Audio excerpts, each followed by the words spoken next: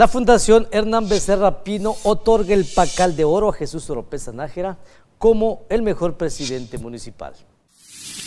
Hernán Becerra Pino, periodista, reconoció a Jesús Oropesa Nájera como un gran ser humano, quien tiene como deseo servir a la gente y poner muy en alto el nombre del municipio. Fue el pasado domingo 26 de mayo cuando este escritor, a través de la Fundación de Hernán Becerra Pino, hizo entrega del Pacal de Oro al presidente municipal Jesús Oropesa Nájera, en donde su fundador señaló que el Pacal de Oro solo se le entrega a los mejores presidentes municipales y enfatizó que mediante una plática él conoció a Jesús Oropesa Nájera y fue ahí donde entabló una gran amistad y él ha sido testigo de las muchas gestiones que el mandatario municipal realiza para el bienestar de su municipio. Ante la mirada de decenas de personas, Hernán Becerra Pino realizó la entrega del Pacal de Oro al mandatario municipal. Ante esto, Oropesa Nájera agradeció este reconocimiento y señaló que este premio es para la ciudadanía y que para él es un gran orgullo ser el portavoz de todos los ocosinguenses, puesto que la actual administración busca echar a andar la economía del municipio y dar a conocer lo bello que es Ocosingo a nivel